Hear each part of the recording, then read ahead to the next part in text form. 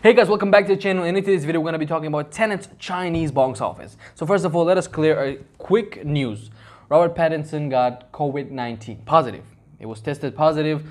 I mean, it's a bit funny, just a bit, that he's making the Batman and then he got infected by a virus that was said to be originated from the bats.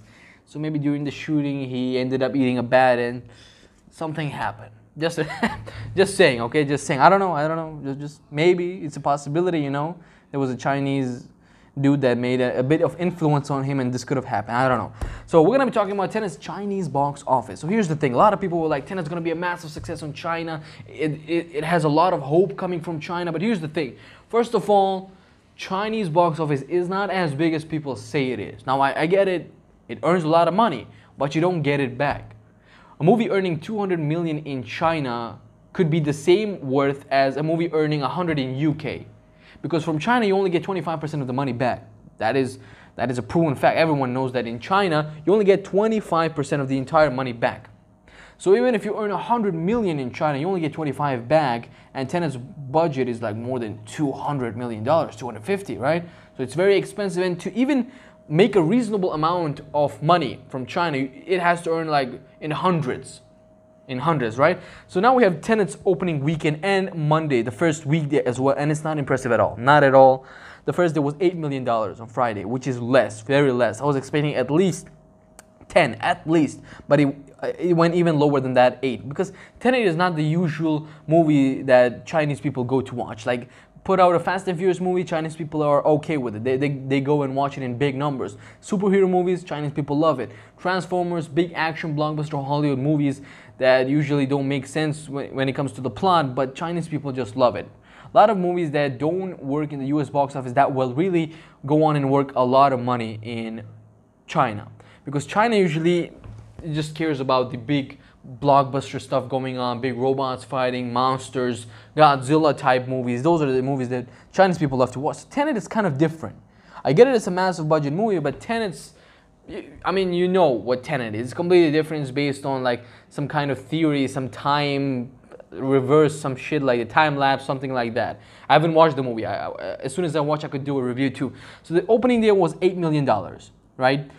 Second day, Saturday, $12 million. Okay, that's kind of good. Then third day, it dipped again to $10 million, which is actually normal when it comes to the rise and the dip of Saturday, Sunday. That's how it usually works in China. But usually, sometimes Sunday is as much as Saturday numbers or even higher if the movie is working really good in China, right? So if it earned 12 million on Saturday, the Sunday could have been even 15. So right now, the opening weekend of this movie is 30 million dollars. 25% of that is 7.5. You know how much that is? That is too less. Despite 30 million being more than Tenet's 20 million US opening, the actual money that comes back to the producers, the production company, is lesser than US. US from 20 million, they should be getting right now 10 to 12 million back. But from China, you only get seven and a half back. Now, what about the weekdays? The first weekday, Monday, earned just around three and a half million dollars, 3.3, 3.5. So total after four days, Tenet in China has made 33 and a half, approximately 33 and a half. And when you count how much of that is actually going back, it's only $8 million going back to the production studio and the producers. So right now, Tenet is in a hugely problematic situation when it comes to China. Tenet has to make at least, at least 100 to even get anything valuable from China because this is low. And usually if, if, if you're a trade analyst, if you've been seeing box office regularly, you know that in China, even doing twice your box office opening weekend is very hard. Movies don't even end up making twice. For example, Black Panther opened around more than $70 million in China, but ended up with just above 100 not even twice the 70 million. So it's pretty hard in China doing that. So this movie could end up at most 55, 60, at most unless if it really becomes successful next week and if it gets an even wider release, it could go for 100, but that's, that's pretty much not guaranteed at all. So I'm going to be putting it 50 to 55, at most 60. So that's uh, the condition of the Tenet movie in Chinese box office.